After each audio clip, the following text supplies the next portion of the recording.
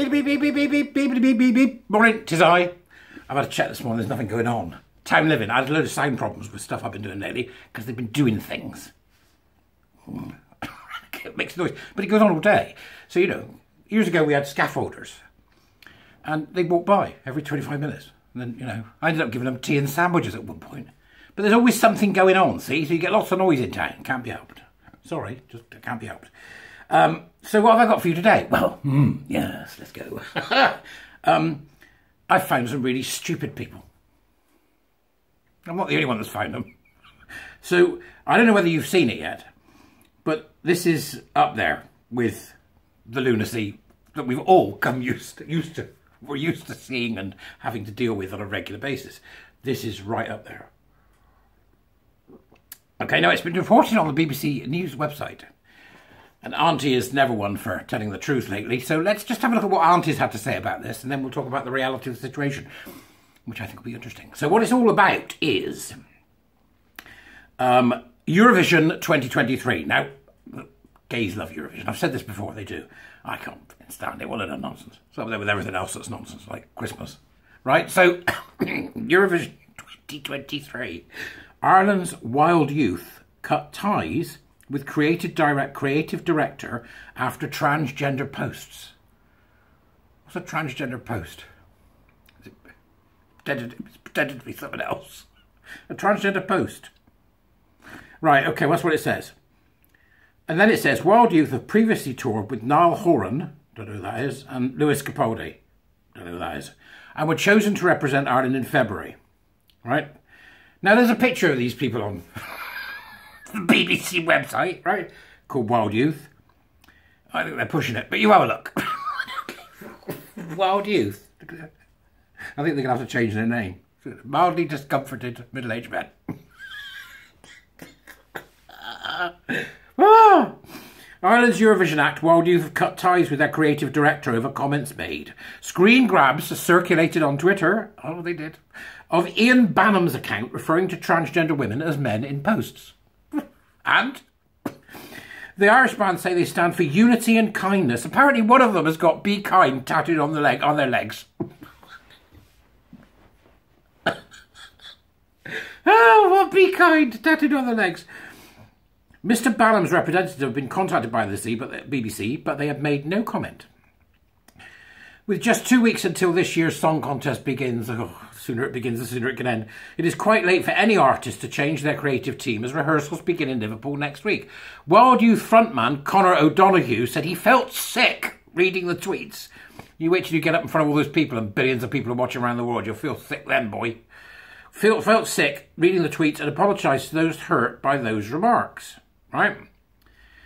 Um, he had said, first off, I want to apologise with my whole heart to anyone who's been hurt or even had to read such horrible tweets. Nobody's been hurt by a tweet, you twat, right? Um, such horrible tweets. It goes against everything I stand for. His tweets made me feel sick reading them. Writing this song and writing these lyrics was writing about what I believe. Wild Youth is a band that stands for unity and kindness. Our song represents our beliefs as a band. We have cut all ties with Ian Bannum and will not have him on our near, uh, or near our team on Eurovision journey. We are so sorry for anyone offended by his comments. Right, okay. So, according to his website, Mr. Bannum has worked in the past with stars including Kylie Minogue, Cheryl, and Lily Allen. I know Kylie Minogue is and I know Lily Allen is. I've no idea who Cheryl is. He was also the choreographer for the most recent series of Ireland's version of Strictly, Dancing with the Stars Ireland.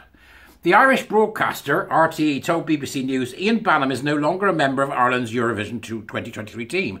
RTE won't be making any further comment. Wild Youth will compete in the first semi final of next month's competition, which will take place on Tuesday night of May, with their song We Are One. Well, you are certainly one, guys. You know. I love it. It's just great. The King and Queen's concert will unveil this year's Eurovision stage. Nobody cares. Um, the acts from the 37 countries taking part, blah, blah, etc. Right? Okay, so that's the nonsense they're peddling, right? Oh, isn't that wonderful? I just sweeten There they are sticking up for the for the for the trans woman. What lovely what lovely men they are. and I say men, if you look at them, and they want to reach out to people and be kind from the look of them in this picture, I would say it's more likely to, that they'll be reaching out for the Gaviscon. Wild youth. Yeah, in your dreams. Unfortunately, the person that this Ian Ballum correctly sexed is called Zara Jade, who was jailed after stabbing and tying up a victim in Halifax. A transgender woman who stabbed her vulnerable victim before tying her to a chair and demanding cash has been jailed. Zara Jade, 54, attacked her victim uh, at Halifax flat last year and left her tied up when she went to an ATM. Jade admitted offences of wounding with intent to do grievous bodily harm, robbery, fraud and false imprisonment at Bradford Crown Court and was jailed for nine years with an extended licence period of three years. And these twits at Wild Youth are upset because there's somebody they know misgendered them. So let's be absolutely clear what Wild Youth have done in their in their in their be kind on the thighs. Be kind. Was it thighs or shins? I think it was the thighs. Like, be kind on your thighs. what was going through his head? I imagine a large dose of alcohol. I know, lads. It's Saturday night. Let's go and get Be Kind tattooed on my thighs. What's wrong with them? Right? So what they've done is they've seen that Ian Bannum. Wonder if there was any other disagreement between them that's made this happen. You know, was there something else going on that we don't know about? Possibly. From Ian Bannum saying, you know, it's a bloke, sharp, right? It's a man, which of course is true. It is a man. And they've decided that they would rather throw somebody they've known for a while who is a friend under the bus for a bloke who who tied up a woman, threatened her with a knife, falsely imprisoned her, and took her money and stand by that bloke being seen as a woman than they would somebody they're working with. And they're going to represent Ireland at Eurovision. What? You imagine people with moral standards that low are representing Ireland. Moral standards so low, they have to write them on their thighs, just below the box shorts. it's just madness. Madness, right? Um, I've been blocked immediately, but I asked all sorts of questions of the Eurovision people and they blocked me. I mentioned they're going around now blocking other people. Are going to do? Well, what have they said? Oh no, we look so foolish. You do look foolish. You do look foolish. And them having a voice in Ireland where they can espouse their morally bankrupt ideas about what is and is not right or wrong means that they should not be held up in any way by anyone to anyone. And it's important that they are exposed for what they are misogynists, and believers in unreality, who will quite happily throw anybody under the bus if it makes them look virtuous. I think they might be in for a shock. I think it might be in for a shock when, when, when this sort of thing comes out and the Irish people go, they said what? About who? But that could just be me. You go and have a look and tell me what you think. Links to both the articles, the BBC, who failed to mention who it was that was misgendered.